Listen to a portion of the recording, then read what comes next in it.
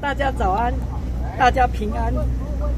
今天是许议长灵堂开放给各界悼念的第一天，感谢各位长官前辈、亲朋好友们对许议长及其遗属的关怀。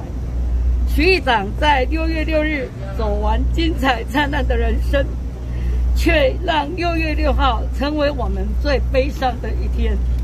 从此，我们高雄失去了一位以市民为先、以地方为面、坚守为民服务岗位的议长，长达二十六年的民意代表，而议会则失去了大家长。对此，我们感到非常的哀痛。目前，议会正积极的筹备治商委员会，协助遗嘱处理处理治商事宜。在此。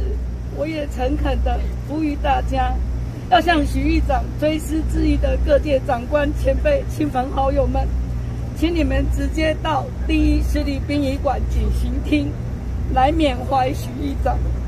恳请大家暂时不要到商宅去，让家属保有宁静的追思空间。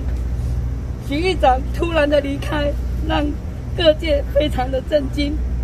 但熟悉许议长的好朋友们都知道，他是一位重情重义、是非分明。无论问政或主持议事，向来只问是非，不问蓝绿。但在他离世前，曾在他的 FB 留下了一段语音。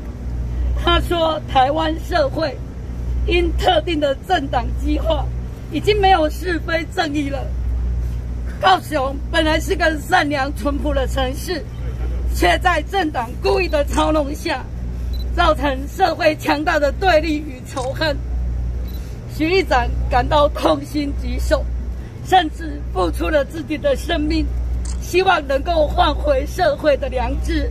因此，对于民进党撕裂民心、造成社会动荡不安的做法，我们表达最严厉的谴责。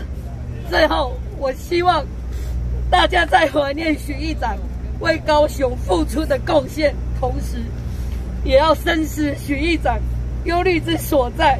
大家一起努力，让我们高雄可以变得更好。